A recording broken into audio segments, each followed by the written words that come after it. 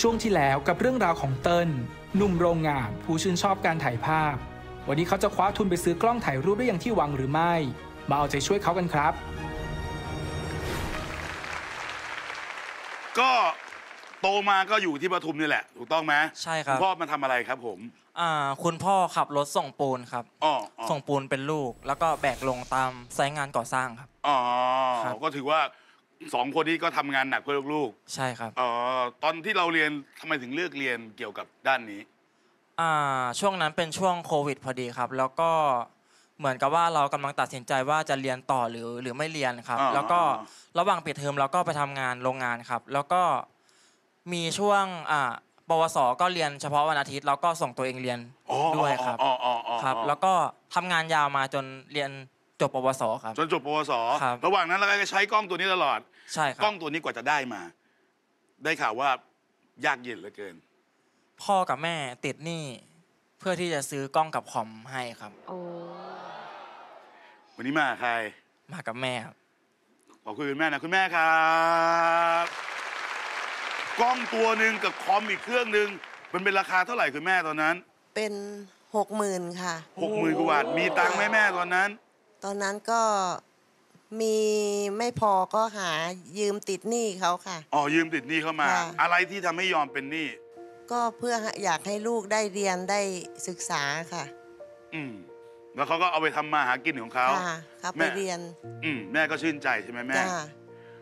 จำวันที่ต้องจากเจ้ากล้องเพื่อนรักนี้ได้ไหมจำได้ดีเลยครับ ตอนนั้นเหตุจำเป็นคืออะไรครับ พ่อกับแม่ไม่มีงานครับ งานวิ่งรถส่งปูนเนี่ยไม่มีเลยครับช่วงโควิด อืมก็จำเป็นที่จะต้องเอามาใช้ขายที่เพื่อเพื่อที่จะต้องเอาเอามาใช้ในครอบครัวครับ อืมอืมอืมตอนนี้คิดถึงเจ้ากล้องมากเลย คิดถึงครับ อืมอืมได้ข่าวว่าเคยร้องเพลงครับ เคยร้องเพลงเมื่อประมาณ 4 ปีที่แล้วครับ สี่ปีที่แล้ว คือครับฝึกมานานหรือยังฝึกมาตั้งแต่ป .6 ครับอ่าถึงสี่ปีที่แล้วครับ ทำไมถึงเลิกไป เหมือนตัวเอง ไปแข่งรายการรายการหนึ่งแล้วก็ทำได้ออกมาได้ไม่ดีเหมือนตอนที่เราซ้อม แล้วก็ผิดหวังกับตัวเองมากครับ อืม โทษตัวเองมาตลอด จนเมื่อเมื่อต้นปีที่แล้วครับ ได้ช่วงวันหยุดอืม อ่ามีรายการหมอลำรายการหนึ่งอืมเปิดโอกาสให้เราเข้าไปเชียร์ผู้แข่งขันได้ อ่าพี่ๆเขาทำโชว์กัน เราก็เอ้ย ไฟมันกลับมาใช่ครับ มันมีไฟกลับมา มันอยากทำโชว์ มันอยากร้อง มันอยากจับไมค์ครับ อ่าฮะ ครับ ก็ สี่ปีที่ผ่านมาก็ไม่ได้ไปรายการไหนเลยครับ ก็มารายการรายการนี้รายการแรกครับ ยินดีต้อนรับกลับสู่ดินแดนแห่งความฝันครับเป็นไงครับพี่ไอซ์ต้นดูเป็นคนมีทัศนคติในแง่บวกอะคือเขาก็มีปัญหา มีอุปสรรคในชีวิตที่เขาเล่ามานะครับอืมซึ่งเขาก็แก้ไขปัญหาเหล่านั้นด้วยความคิดบวก มันก็จะทำให้เราสามารถต่อยอดไป ตามสิ่งต่างๆ ได้ ซึ่งอันเนี้ยเป็นสิ่งที่ดีของเติ้ลนะครับ ทีเนี้ยความตั้งใจที่มันดีอยู่แล้ว ก็ขอให้ความตั้งใจเนี้ยมันประสบความสำเร็จต่อไป เดี๋ยวพี่ไอ้รอฟังเลยว่าเติ้ลจะร้องเพลงออกมาวันนี้เป็นยังไงนะ เป็นกำลังใจครับ ขอบคุณครับ ขอบคุณครับเอาละฮะวันนี้หวนกลับเวทีอีกครั้งในรอบ 4 ปีขอหนึ่งเพลงหนักๆ ต่อหน้าแชมป์ 49 สมัยฮะ นั่นคือเพลง ฝากเพลงถึงยายครับ จากเต้นครับ ย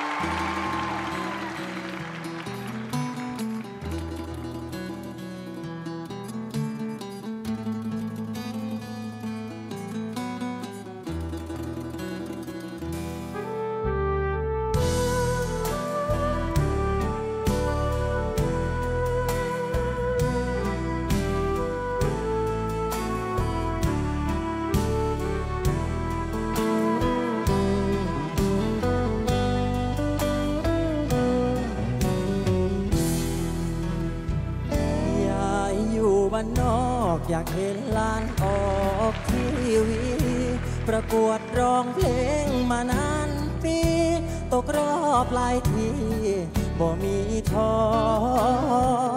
ห่างย้ายไกลบ้านมีหลักประกันเพียงบุชันมอไต่ฝันจนถึงวันรอย้ายดีใจบอที่ลานทำได้ เส้นทางดนให้ทุกก้าวฝ่าไปมีคนเมตตาตำแหน่งนักร้องที่รอมา เหมือนเทวดา เปิดทางให้ ออกเทปเถือนี้อยู่แกรมมี่คุณเด้คุณยาย เมื่อออกทีวีส่งไป ขอยายได้เตรียมใจรอ กินข้าวหลายๆเด้อยายสิได้แข็งแรง คอยเปิดทีวียามแลงนั่งแงงลานอยู่หน้าจอ ได้ร้องเพลงังวัง เหมือนพบเส้นทางไปต่อ อย่ามใดเพลงลานผ่านจอยายคงสิพอยิ้มได้ ฝากเสียงเพลงให้ ฝากใจผ่านจอทีวี ถ้าหากลานไปได้ดี ความหวังเคยมี คงมาไกล ขอเพลงดังก้องได้เงินทองส่งน้องและยาย กลับบ้านเมื่อเก็บเงินได้ สร้างเงินให้ยาย หลังใหม่งาน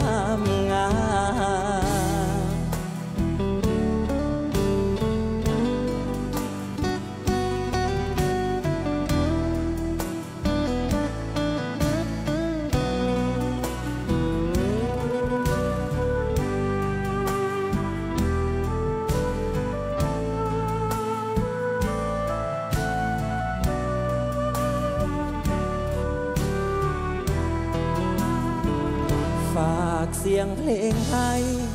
ฝากใจผ่านจอทีวี ถ้าหากลานไปได้ดี ความหวังเคยมีคงมาไกล ขอเพลงดังก้อง ได้เงินทองส่งน้องและยาย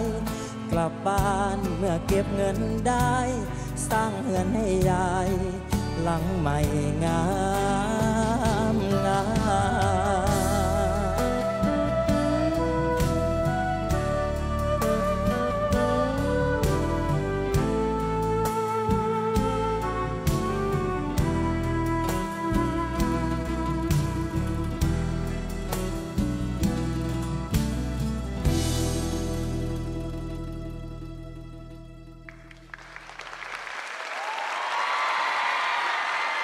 การเป็นไงไหนเล่าสิ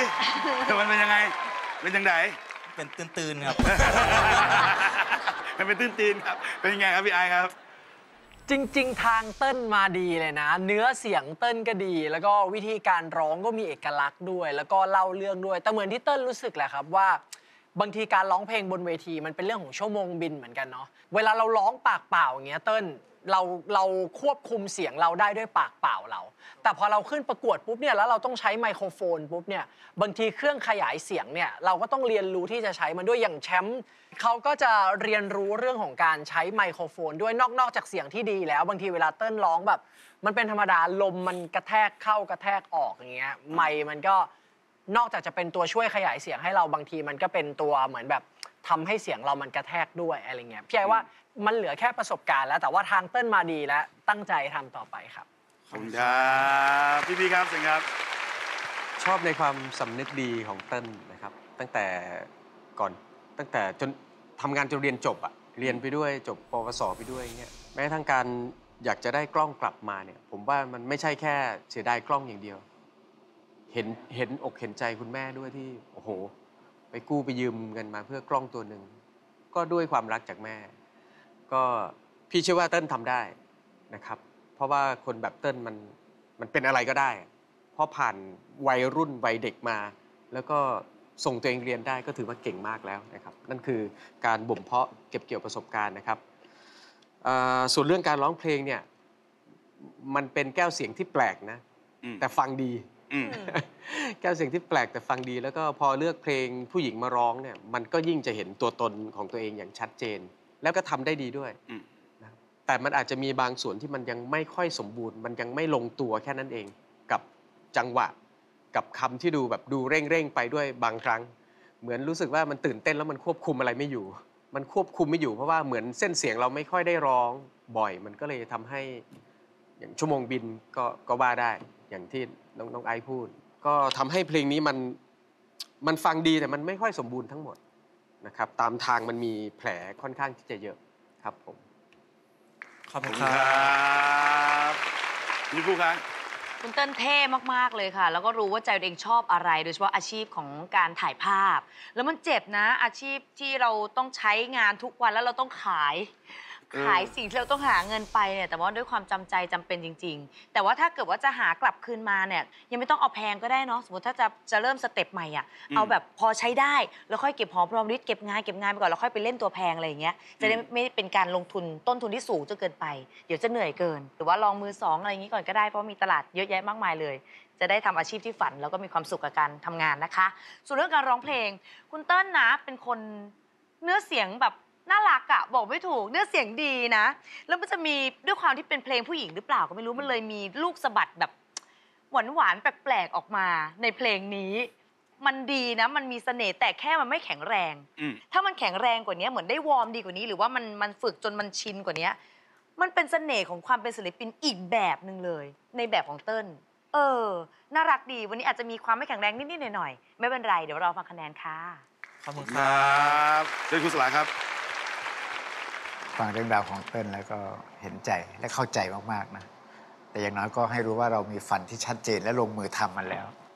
แต่บางครั้งก็นั่นแหละ มันมันเป็นการเสียไปแล้วก็ต้องหาทางได้มา แต่ครูก็เชื่อว่าเติ้ลมีประสบการณ์มากพอที่จะหาวิธีได้กล้องกลับคืนมา เอาใจช่วยนะครับส่วนการร้องเพลงวันนี้มันเด่นที่เสน่ห์จริง ๆ เสน่ห์ในที่นี้ไม่ได้เป็นแค่แก้วเสียงนะครูมองว่าโดยลุคของเติ้ลน่ะมันเป็นลุคศิลปิน มมันมีเสน่ห์บางอย่าง มันอยู่ในตัวเติ้ลเลย มันมีราศีของศิลปิน แต่ผลงานการร้องในวันนี้ต้องยอมรับว่าท่อนหนึ่งกับท่อนสองไม่ค่อยดี เหมือนตื่นเต้นมากคุมไม่ค่อยอยู่เสียงมันพร้อมที่จะฉลับนะครับ แต่พอผ่านฮุกแรกแล้วก็มาท่อนสุดท้ายรอบแรกนี่มันเริ่มดีขึ้น และเติ้ลมาร้องอยู่ในฟอร์มที่น่าพอใจที่สุดก็คือหลังโซโล่แล้วภาพรวมมันเลยหนึ่งมีเสน่ห์สองเพราะสามในแง่ของบาดแผลเนี่ย มันมีดีท้าย แต่ต้นมีปัญหาเล็กน้อย เราเปรียบเทียบครับ ขอบคุณครับวันนี้กับการแข่งขันแมตช์สำคัญของแชมป์ 49 สมัยอย่างขิม วันนี้เธอจะก้าวสู่การเป็นแชมป์สมัยที่ 50 คนที่ 3 ของดวลเพลงชิงทุนได้หรือไม่ ไปลุ้นพร้อมกันครับ ตอนนี้ถึงเวลาไปต่อฮะ เพื่อการเป็นผู้ที่มาไกลที่สุดเป็นอันดับสองร่วมกับเพชรคาถาวุฒิหนึ่งบทเพลงในวันนี้คือเพลง สาวเพชรบุรีค่ะ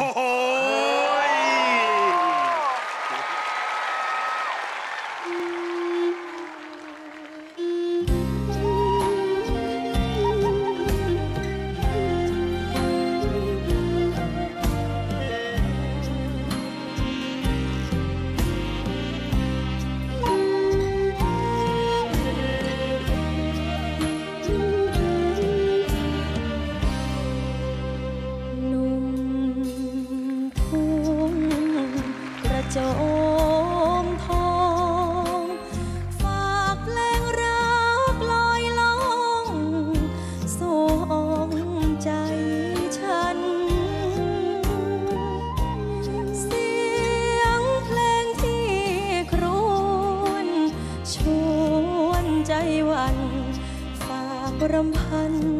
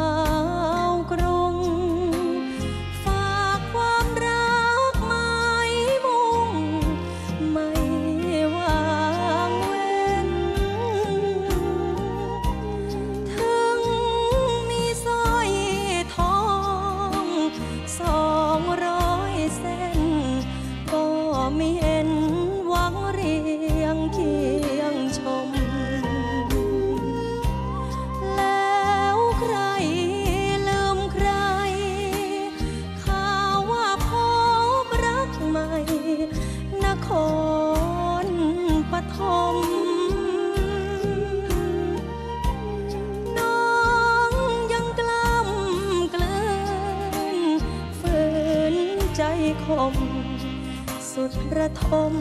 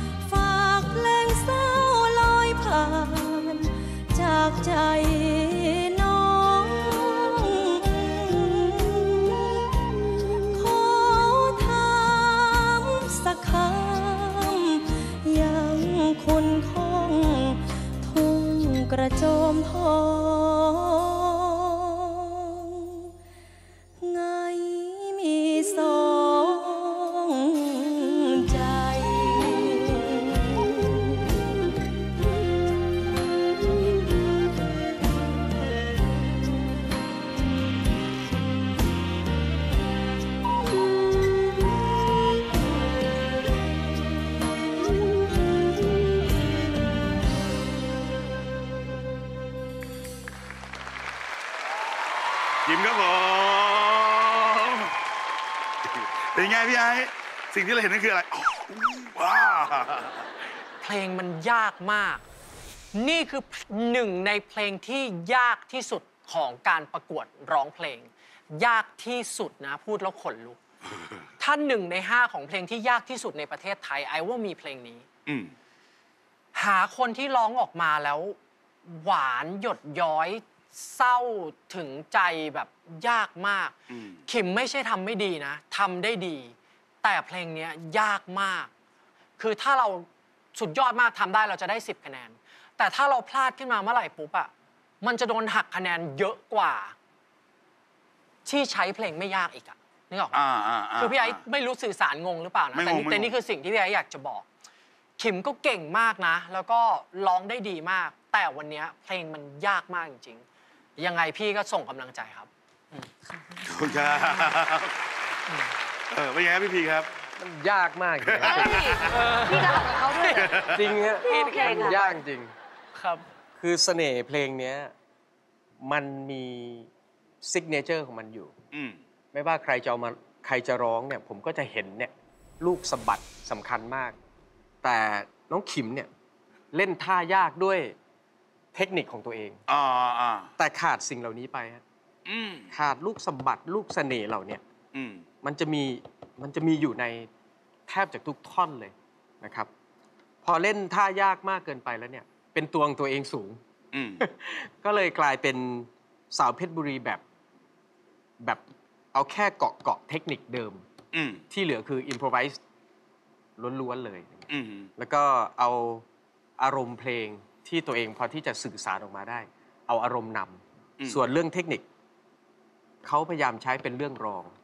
ที่เหลือก็คือใช้ใช้อารมณ์นำครับ มันก็เลยไพเราะในแบบของน้องขิม โดยที่ทิ้งความเป็นดั้งเดิมของเพลงนี้อืมประมาณนั้นครับ โอ้ยากครับยากครับ กรรมการก็ยากครับเป็นไงล่ะพี่ชมพู่เพลงนี้มันยากมากครูครูครับต้องเล่นนะครับผมอาจจะต้องรบกวนแล้วครับครูครับผมต้องเล่นแล้วล่ะเพลงนี้มันยากมากจริงๆค่ะ แต่ก็เป็นเพลงอีกเพลงหนึ่งที่เป็นเพลงประกวด ซึ่งถ้าทำได้ดีก็คือเข้า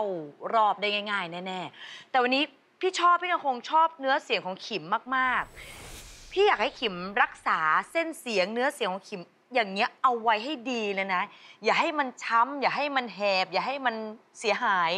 พี่เสียดายพรสวรรค์ของหนูมาก เพราะหนูร้องเพลงไหนก็เพราะวันเนี้ยในเวอร์ชันของขิมอะมันเพลินหูคนฟัง แล้วพี่ก็ชอบการถ่ายทอดอารมณ์ของขิมมาก พี่ชอบความเป็นศิลปินของขิมในตัวเรื่อย ๆ มาก ๆ อีกเป็นอีกหนึ่งเพลงที่เพราะมากๆค่ะ เดี๋ยวรอฟังคะแนนค่ะขอบคุณครับงานนี้ยากไหมครับครูเพลงมันยากครับ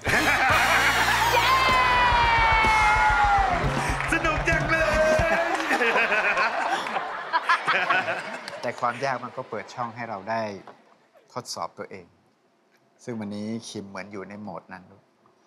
อ่าวันนี้หนูร้องเพลงนี้นี่ จุดเด่นคือร้องเป็นตัวเองอืมแต่จุดเสียก็คือมันอาจจะเสียลูกเสน่ห์ในหลายๆจุดที่พี่พีบอกอืมเพราะมันมีมันมีท่าบังคับไว้อยู่อืมแต่ท่าบังคับที่ว่ามันก็ไม่ได้ห้ามว่าถ้าไม่เล่นแล้วผิดอืมแต่มันน่าเสียดายนะครับ มันก็เลยมีส่วนเสียคือ ไม่เล่นในจุดที่อยากให้เล่น แต่หนูก็ได้ในจุดที่เฮ้ยกล้าใส่ความเป็นตัวเองลงไป แล้วก็ได้ได้ได้ฟังรสชาติอีกแบบหนึ่งมันไม่ได้ผิดแต่มันได้ความแปลก นั่นแหละเพราะได้ความแปลกมันก็เสียความเพราะบางอย่างอืมมันก็เลยมีได้มีเสีย แต่ภาพรวมก็น่าพอใจครับขอบคุณค่ะขอบคุณครับเซนเตอร์ครับเออเอาละฮะ ผมเชื่อว่าแมตช์นี้ มันยากครับผมเชิญกรรมการตัดสินใจครับ ดูสิว่าวันนี้ฮะแชมป์ของเราจะสามารถเดินทางไปเคียงคู่กับเพชรคาทาวุฒิได้หรือไม่ในการเป็นแชมป์สมัยที่ 50 หรือจะเปลี่ยนมือให้เติ้ลจากชัยภูมิขึ้นมาเหยียบบัลลังก์แทน2คะแนนเพื่อตำแหน่งแชมป์มาคะแนนแรกขอดูจากพี่พีครับ มาดูกันว่าใครจะออกนำไปก่อนในแมตช์นี้ฮะแชมป์49 สมัยต้องพบกับเติ้ลจากชัยภูมิฮะ ผู้มาหาเงินสักก้อน ซื้อกล้องเพื่อประกอบอาชีพเสริมของตัวเอง และวันนี้พี่พีให้ผู้ที่ออกนำไปก่อน ได้แก่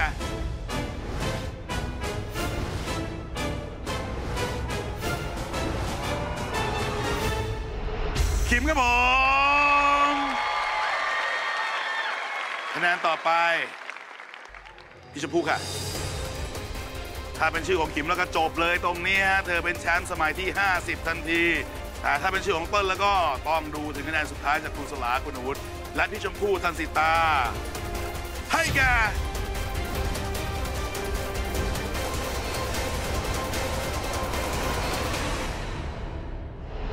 ขิมครับผมแชมป์50 สมัยครับขอดูคะแนนจากครูสลาครับ ขิมครับเป็นไงครับแมตช์นี้ วันนี้ทั้งคู่นี่จุดเด่นคือเสน่ห์เลยนะอืมคิมก็ร้องสาวเพชรบุรีได้แปลกดี ส่วนเต้นนี่ถือว่าร้องมีเสน่ห์เลยนะลูกเป็นคนที่ออกเสียงแล้วจำได้จำได้แล้วก็มีลูกเอื้อนบางอย่างที่มันมาเอง เสียดายว่าสองท่อนแรกเนี่ยที่เต้นคุมเสียงไม่อยู่นะมันมันมีมีจุดเสียหายเยอะกว่าเท่านั้นเอง เล่าตรงนี้เพื่อให้เต้นมีกำลังใจในการที่จะกลับมาร้องเพลงอีก ครูว่าถ้าหนูได้ใช้เสียงบ่อยๆ เต้นเป็นอีกคนหนึ่งเลยที่ร้องเพลงมีเสน่ห์ บางครั้งเราอาจจะไม่ได้เป็นแชมป์เวทีไหนหรอก แต่มันจะสามารถเป็นใช้ในการประกอบอาชีพได้ อยากให้เต้นสู้นะครับ ให้กำลังใจครับ แล้ววันนี้ฮะโรแลนด์เนทูล่ามอบเงินทุนกำลังใจให้ 3,000 บาทครับครับสำหรับวันนี้ผมก็ทำออกมาเต็มที่แล้วนะครับ ถึงจะแพ้ก็ไม่เป็นไร ขอขอบคุณโรแลนด์เนโทล่านะครับ ที่มอบเงิน 3,000 บาทให้ ขอบคุณครับ แล้ววันนี้ฮะเธอทำได้นะฮะเป็นผู้ที่มาไกลที่สุดเป็นอันดับที่ 2 นะ ของดวลเพลงชิงทุน แชมป์ 50 สมัยของเราขิมจ้า และถึงเวลาของเธอแล้วฮะกับวงล้อเงินทุน เงินทุนในวงล้อสนับสนุนโดย เงินชัยโย สินเชื่อจำนำทะเบียน เงินทุนในวงล้อจะเริ่มต้นที่ 5,000ถึง50,000 บาทสำหรับแชมป์สมัยที่1ถึง9แต่ถ้ารักษาแชมป์ได้ถึง 10 สมัย จะมีช่องเงินรางวัล 1 0 0 0 0แบาทเพิ่มเข้ามา ให้ได้ลุ้นกัน แต่ถ้าเป็นแชมป์ถึงสมัยที่ 20 นอกจากจะได้เงินทุนสะสมไปในแต่ละรอบแล้ว จะได้รับแจ็คพอตเงินรางวัลที่สะสมคูณ 2 และพิเศษไปกว่านั้น แชมป์ 20 สมัยยังสามารถแข่งขันเพื่อรักษาแชมป์ต่อไปได้ นั่นหมายถึงมีสิทธิ์รับเงินทุนสะสมได้อีกไม่อัน จาก 5,000 ถึง 1 0 0 0 0แสนบาทแชมป์50 สมัยเอาไป เท่าไรดี ตอนนี้ขึ้นแท่นรอเป็นแชมป์เงินล้านคนต่อไปฮะแต่ที่ไม่ต้องรอขนาดนี้ เธอคือเป็นเธอคือแชมป์ผู้มาไกลที่สุดเป็นหลับสองนะฮะด้วยตำแหน่งแชมป์50 สมัย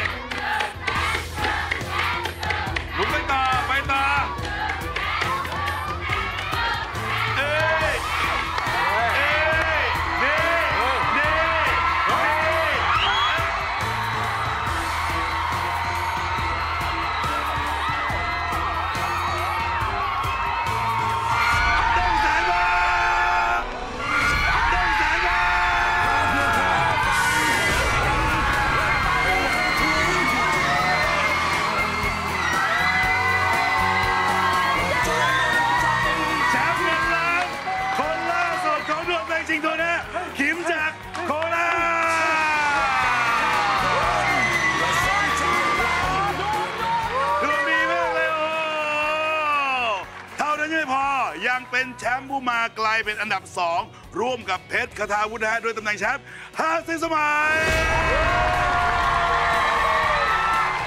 ทุนเดิมมีอยู่ 945,000 บาท วันนี้รับทุนใหม่อีก 1 0 0 0 0แบาททำให้ตอนนี้นะฮะ มีเงินทุนสะสมจากเงินชัยโยอยู่1ล้าน45,000 บาทร้อนดังก็ยังชัยโย